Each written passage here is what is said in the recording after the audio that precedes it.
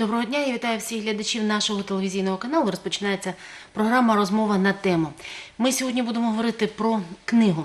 Традиційно ми в цій студії говоримо про книги, які так чи інакше мають відношення до нашого міста. Ця книга безпосередньо до Миколаєва відношення не має. Але, на мій погляд, я абсолютно в цьому впевнена, вона має відношення до кожного українця. В нашій студії сьогодні людина, з яким ми зможемо говорити про книгу Аеропорт. Це гол- голова спілки е, громадського об'єднання спілки військовослужбовців Сергій Танасов. Добрий день. Добрый день. Сережа, мы сегодня, как я уже сказала, представляем книгу «Аэропорт». Собственно, презентации ее еще в Николаеве не было. Но книга, о которой Украина уже знает. Состоялась презентация этой книги в Киеве, состоялась презентация этой книги на Львовском книжном форуме. Это самое серьезное сегодня э, собрание, куда приезжают издатели, куда приезжают читатели, куда приезжают продавцы книг, ну и просто те, кто живет современной жизнью Украины. И вот мы э, еще до того, как состоится презентация ее в Николаеве, она будет обязательно, с вами сегодня в студии о ней говорим. Книга «Аэропорт» – главная книга о войне, которой не должно было быть, и о героях, которые хотели жить, но умирали. Я знаю, что вы написали одну из предисловий к этой книге, Да. если можно чуть подробнее. Не, ну, Об- о вашем предисловии и о вашем впечатлении. Я так понимаю, что вы были одним из первых читателей. да, я помогал ее редактировать как военный консуль- консультант. Вот. Ну, можно я перейду сначала, вот, немножко вернусь Да, чуть назад вот, к конечно. вашим словам Конечно. о том, что книга как бы не очень относится к Николаеву. Ну, ко всей, ну, Она- каждому украинцу. Николаевская область здесь э, присуща даже на обложке. Вот, Да? Да, вот парень, который несет мухи, ну это РПГ-26, вот, это наш николаевский парень из 79-й бригады. Вот. Вот, так что он с Мы Николаева. сейчас покажем. Да, очень много историй, которые там. Это истории ребят Ребята из Николаева. наших, да, 79-й бригады истории. Вот, много ребят. Ну, и, а, а- а дальше это все уже пошли истории ребят, которые еще там были ну, с других бригад. 95-я, 93-я бригада, 74-й батальон, правый сектор. Это все, все, все, это все там, это все единая книга, и каждый там свою лепту внес. Так что Ну, и я все знаю, фотографии и, в принципе, ну, все, ну, как бы, как, просто так течение судьбы, наверное, там, обстоятельств, что Сергей попал именно в аэропорт, вот к нам, в 79-й бригаде. Вот туда попал, и так вот оно и пошло. Вот. Нужно- Насчет предисловий теперь ваших. Вы вообще военные, не знаете, не скупы на эмоции. Вот. Поэтому, ну, как пусть люди почитают, и потом, может, кто-то согласится со мной, кто не согласится этой книги. Ну, нужно сказать, что Сергей один из героев этой книги, и мы до сих пор ничего не сказали об авторе. Вот, ну, как упомянули вскользь, но более подробно о том, кто, собственно, автор этой работы. Сергей Лойко, жу- фотограф, журналист мировым именем.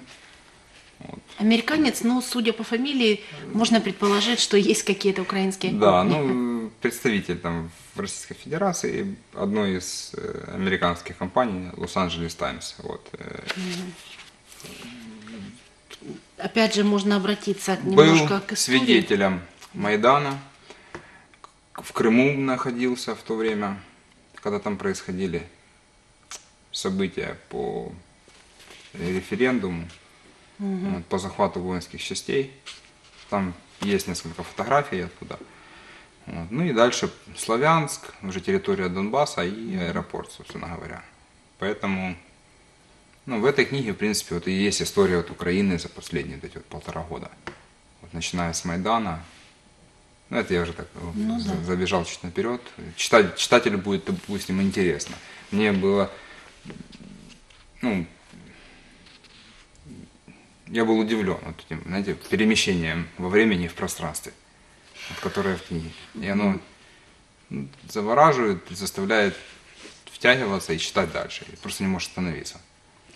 Но нужно еще, э, наверное, напомнить нашим зрителям, что в Николаеве была выставка «Адский аэропорт» именно Фотографии. этого фотографа, да, да, фотографий, да, да. А это же он снял. фотографии послужили, От- отправная точка, Что, да, да. толчок фотографии. фотографии пошли началом создания книги. Э, Товарищ наш вообще очень хороший, вот, Алексей, он с Харькова.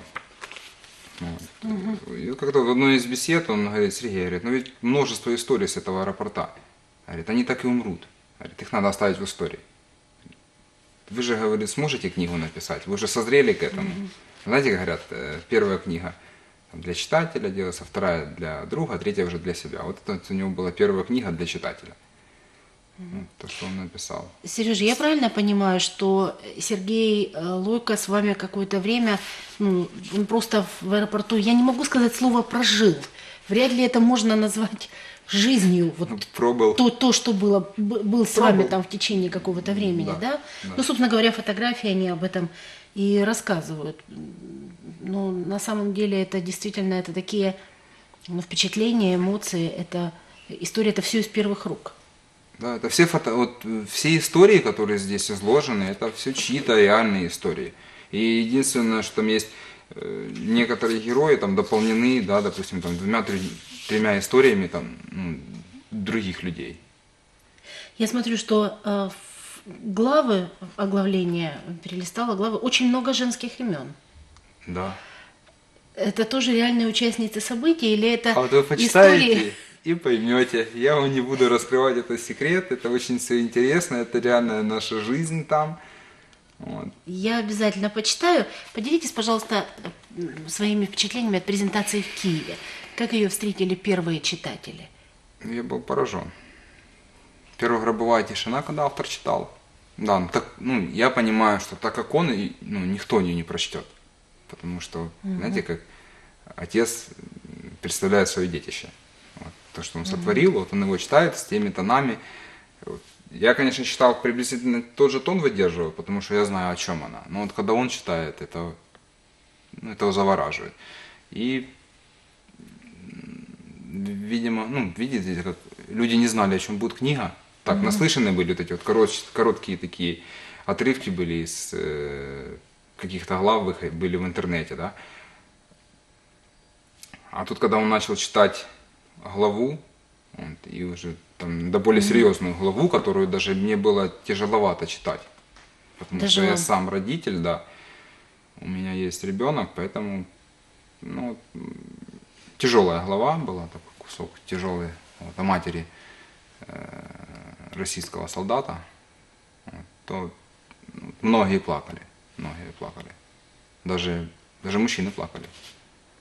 Ну, там есть такие куски тяжелые. Ну, это жизнь, понимаете, это война. По-другому здесь никак. Просто, может, после этого кто-то задумается, стоит ли поддерживать ту или иную сторону, сделать какие-то выводы. Книга, знаете, растуманивает немножко разум. Ну, так хорошо написано. Вы сейчас употребили такую формулировку «растуманивает разум». Вы имеете в виду, что все-таки в, у тех, кто не был там и не видел все своими глазами, мы все равно остаемся в плену каких-то своих представлений о войне, так? Э, хорошая поговорка. Лучше один раз увидеть, чем сто раз услышать, правильно? Ну да, хотя И- здесь и, ту лучше картинку, которую вам подают, где-то там на телевидении, в газетах, в интернете, да, ну, в каких-то, это уже все масс-медиа считается, вот, то эта картинка вам и остается. То, что люди видят, ну, большинство ж, э, горожан и жителей области это смотрят, э, тарелочка, да, стоит дома, вот, смотрят российские каналы. И то, что им подают оттуда, то и затуманивает им разум. Я не говорю о тех людях, которые там, ну, допустим, смотрят украинские каналы и да, там сто процентов придерживаются проукраинской позиции, да, как жителя ну, Украины. А те, кто еще, я говорю о тех, которые люди еще сомневаются, либо склоняются больше Ну, сомневаются. К той- к той да, правде, да- Давайте да. оставим Да, такую форму- да. более Тот- мягкую формулировку, сомневаются. Да. Я даже хотел бы, чтобы наши оппоненты по ту сторону окопов ее прочли. Я знаю, что э, определенное количество книг уехало в оккупированный Донецк. Я знаю это. Ну, я так понимаю, что тираж пока еще небольшой, но она постоянно допечатывается. интерес да, есть, да, да, да, да, да. Не ожидал никто, что будет столько так- интереса. такой интерес будет и потребителей так.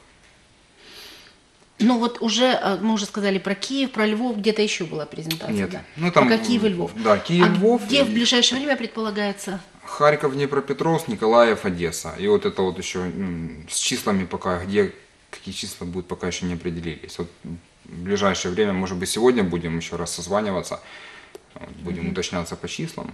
И Ну, мы обязательно пригласим Николаевцев на презентацию этой книги, обязательно расскажем об этом, потому что это действительно, как я сказала, книга да, еще приедет автор, и он зачитает Да, книга очень отрывок. важная для каждого украинца, для того, чтобы вот вы употребили такое слово, растуманилось в мозгах, ну а я бы сказала, что сделали ошиб- работу над ошибками своими, чтобы впредь больше такого не совершали. Знаете, вот сегодня, когда мы, наши современники, и вы в том числе, пишут историю современной нам Украины, все чаще обращаемся к той истории, которую мы уже прожили, чтобы, может быть, еще раз, может быть, какая-то подсказка, может быть, вот как вы говорите, урок, и понимаем, что, к сожалению, сегодня, ну, допустим, если о Второй мировой, а, которую мы всегда называли Великой Отечественная, если есть еще живые свидетели, есть больше, в принципе, свидетельств и документов об этой войне, то о Первой мировой, в которой Украина тоже принимала участие, уже практически ничего не осталось. И так получилось, что ее мало исследовали, поэтому сегодня сами историки говорят, что это уже, это, безусловно, фальсифицированная история, и правду установить вряд ли удастся. То вот эта книга уже выступает, по сути, бесценным документом. Да. Я просто сам не был свидетелем э, событий на Майдане, да, и без- ну, непосредственно в Крыму.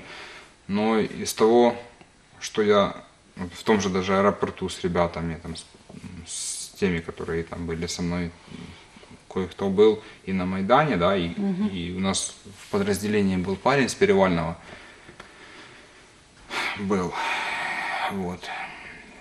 Вот. И он рассказывал за Перевальный, как там у них часть пытались захватить. То, В Крыму. да, он потом вышел с Крыма, и вот прикомандировали его в нашу бригаду, и он служил, служил у нас. Вот. Ну, в аэропорту он и остался. Ну, в смысле, Сереж, знаете, да. мне еще так было... что, ну, в книге, в принципе, ну, я увидел еще раз подтверждение тех слов, которые я слышал. Ну, в беседе с кем-то. Как мне рассказывали об Айдане и вот о с Крыму. Ну, а, соответственно, Донбасс я уже и так сам видел. Вы выступили как э, военный консультант. Я поэтому задам вопрос скорее не как э, военному э, кадровому, а как военному консультанту. Могло не быть аэропорта?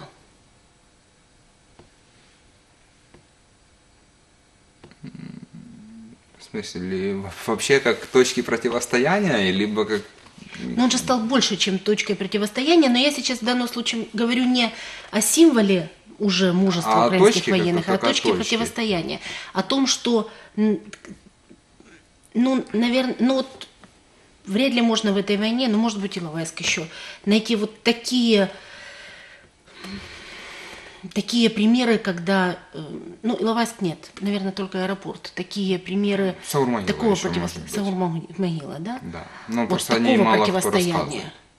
Вот э, такого практически беспримерного мужества. Ну, на Соломогиле были свои, там, Там, да, там атаковали сепаратистов, да, у них были большие преимущества и в высоте, и э, в плане обороны. Вот. А, а здесь, да видите, видно, судьба у нас такая была, развить этот аэропорт. Грызлись, видно, в него, да и все. Знаете. Не знаю, не знаю. Ну, Видно, да он, наверное, должен был быть. Потому что он установил, знаете, как оценочную планку для военных. Что вот можно стоять вот так. Хуже нельзя, а лучше можно. Ну, понимаете? Ну, мне кажется, что да, хотя это вот та ситуация, когда я могу себе только попытаться представить. Но на самом деле Ну, прочувствовать вот, когда вы будете это, да. читать все это, у вас вы ощутите это на себе. Многие даже ну, запах пороха ощущают почему-то, когда читают, либо гари. Ну, так зачитывается человек, что у него в сознании где-то там всплывает Ну, это воспоминания даже, ну, ощущение каких-то запахов, либо какого-то дискомфорта, либо наоборот чего-то. Ну, Сильно, Ну. сильно книга написана, сильно. Очень редко в литературе присутствует это, но, как правило, это мастерство действительно очень высокого уровня. Причем книга, Когда- ну, да. все, вот, кто читали, единогласно говорят, что доступным языком написано так, что ну, просто невозможно, знаете, вот, очень легко, без, без, без препинаний, там, без лишних э, каких-то завязок. Вот, вот, вот как, как, как, как, как, знаете, вот, вот прямая линия. Вот ее ведешь, ведешь, ведешь карандашиком. И вот она вот так вот, так и книга читается. Но в то же время очень сильно влияет, ну, эмоционально очень сильная книга. Вот мне я волноваться начинаю, вспоминаю куски оттуда, вот, какие-то отрывки. Сережа, а сколько вы дней провели в аэропорту? Ну, плюс-минус там 10 дней. Там плюс заход, выход, перебежки. Скажите мне, а э, слово киборг, вот мне всегда было удивительно, почему э, Да не, мне не это нравится, нам слово не нравится нашли, это вам не слово. нравится, Нет, да? нет. Ну, Ну, ну, кто автор, откуда оно взялось, ну как-то Сепары, сепары. ну, очень странная какая-то формулировка, но э, мы его приняли и Не, ну тут- тут здесь, кстати, тоже будет об этом словом. написано, там, не помню, кто ну, пишет, а ну, как раз в этом начале, то, что украинские военные, там, их там орками, да, там, грубо говоря, где-то фразовали, потому что лезли, как эти самые, как зомби, знаете, вот, о- о- о- орка-зомби. Вот. А те нас, наоборот, так. Ну, это еще до нас было, наверное. Ну, до того, как я, допустим, туда пришел. Я сегодня утром смотрела один из украинских каналов, и на нем прозвучала новость о том, что вашего коллегу по аэропорту Евгения Да, маршала да, Жукова да, да, назначили зам э, начальника Да. полиции. Я и- об этом уже давно знал. Да, и, ну, собственно, мои коллеги на вот этом всеукраинском канале, у них была такая шутка, что, в общем-то, известный киборг теперь станет робокопом. Пользуясь такой терминологией, но Может быть, какие-то перемены принесет с собой. Я уверен, что принесет положительные только перемены, потому что, ну, вы знаете, армия, она вообще такая интересная. Струк- органи- организация, знаете, так вот, как армия, вот, у нее интересная вообще организация. Вот даже смотришь на ребят, которые там с правого сектора поприходили, они же вроде такие все, знаете, тяжело подконтрольные, да? То здесь они когда попадают уже именно в ряды вооруженных сил, то там буквально неделя, все, они уже сливаются со всеми и становятся Ну, в аэ- подразделением. В аэропорту уже были не только кадровые военные, но Конечно, и добровольные правый- Да, да, да, правый сектор стоял. Кстати, вот на выставке в, Винь- э, в Киеве я обалдел, я увидел своего друга. Ну, реально друга, вот, м, парень из э, с Энергодара. С Энергодара. Вот. Нас с ним, получается, в один день. И у него щеку рассекло вогом. Мы вместе работали, и вог попал в перекрестие окна, вот, ему рассекло щеку. Вот. То его Олег зашил, медик наш, перемотал, все, и типа спрашивает, типа, будешь уезжать, там, эвакуация? Да не, говорит, еще, типа, останусь. И, типа, интересно, говорит, с десантниками. И все, и остался. Вот, и в этот же вечер потом и меня вот это, ну, так вот. И я тоже потом, бах, и остался. И до конца так вместе, получается, с ним добыли. Он ушел в Пески к своим, а мы уже Краматорск там меняться и дальше уже по своим делам. Вот, так мы, мы с ним встретились в Киеве на, на выставке. Я, конечно, был очень счастлив увидеть его ну, в здоровом, добром здравии. Знаете, он жив, все нормально, он молодой парень. Я просто знаю его историю, как он вообще попал на Майдан, как он, ну, чисто случайно реально он туда попал. Вот, м, и, ну, это, это наша история оттуда, из аэропорта, знаете, как плечом к плечу там стояли и так я- хорошо. Так, ну, самое главное, что мы даже имя друг друга не знали толком. Ну, позывные, да? Ну так, ну малий та й малий, там ходить, бігає. Просто що там роззнакомились, що ну, земляк мой, от, я ж сам родом из Мелитополя, от, там до армии, там жил, а сейчас уже все здесь. Вот, а он с Энергодара. Ну так, по большому счету, это образ. большому счету, да, да, то земляки. есть земляки. И было удивительно, то, конечно, встретить его такого, знаете, ну, отчаянный такой, молодой, ну, хороший воин, знаете. Ну, вот вы сейчас говорите «хороший воин». Я, собственно говоря, почему спросила про добровольческие формирования. Потому что, э, когда кадровый военный, ну, предполагается, что э, кадровый военный, он все-таки понимает, что происходит. Предполагается, что кадровый военный знает, как себя вести. Хотя нашу армию-то в последние годы к войне не готовили. Да. А ребята из добровольческих формирований, они приходили туда движимые идеи, движимым, Мотивированные. движимые, да, мотивированные желанием защищать Родину. Но для того, чтобы выжить э, в адском аэропорту, нужны были все-таки навыки военных. Нужно было что-то уметь и понимать, что происходит. Ну, подразделение, когда меняется между собой, вот, они еще как минимум сутки э, ну, стараются побыть с новым контингентом, который пришел. Ну, и рассказывают все, в принципе, нюансы. Ну, так, так было у нас. И ну, есть Даже старший, кто сутки- назначается. Да, в принципе, вводят обстановку. Там-то не такой большой же сектор ответственности. Ну что там, ну терминал типа и все. Ну, у вас два выхода. Или вы будете держаться и вы выживете, или вы не будете держаться и все. Вот так. Вот. Задача да более простая. Вот. А уже там специфика работы, взаимодействие, координация, ну это, это уже от подразделения друг от друга. Там, наверное, ну, все равно приятные воспоминания с аэропорта. Как бы оно ни было, мне приятно воспоминать. Я вот тоже сейчас сижу об этом, думаю, вы сказали, друг, вы 10 дней были там вместе. И, наверное, все на войне по-другому происходит, да? Да. За 10 дней становишься. Ну так Лыка за 4 дня стала родным, а вы мне за 10 дней. Ну, все-таки как-то, а, не знаю, мне кажется, что острее все переживается. Да не, не то, что Нет? острее. А как? Тяжело тем, у кого есть семья. Это вот однозначно.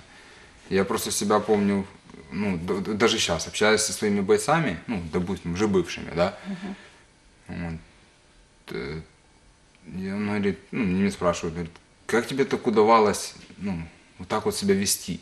Я говорю, «А что такое? Ну, говорит, я, говорит, тебя мог понять, когда у меня не было семьи, там ничего не было. А сейчас вот он там, говорит, да, там, например, женился, ждет ребенка. Говорит, а сейчас мне ехать у меня уже чуть по-другому.